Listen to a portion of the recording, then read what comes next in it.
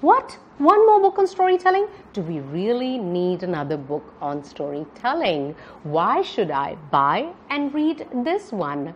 Well, this book, Strategic Storytelling, tells you why some stories drive your corporate success and others don't. A story that works on the stage almost always fails to influence your boss in the boardroom. And a story that did a fantastic job of influencing your boss will almost certainly fail to inspire team members in a town hall.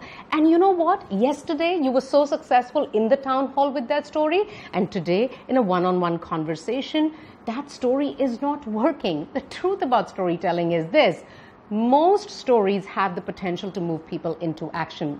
That's the truth.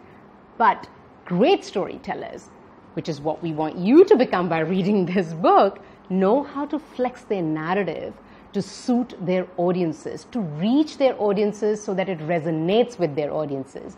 My name is Anjali Sharma. I'm the author of Strategic Storytelling, and in this book, I tell you five types of storytellers that you can be to really navigate the complex corporate world that you live and work in, where you are time poor, but your success is very important to you. The very first one, the marketer storyteller, where you learn how exactly to find the positioning of the story, what matters to my audience. Number two, the reflective storyteller, how to go down the memory lane, really find from your day to day experiences and turn them into short, sharp, practical stories to make your messages stick. The third one, journalistic storyteller, where you go find stories from your industries, from the books, from the research, and use them as a tool to really make your messages stick. The fourth one, as the reporter storyteller, you know, some people are really good at finding stories and writing stories, but not really good at telling them orally.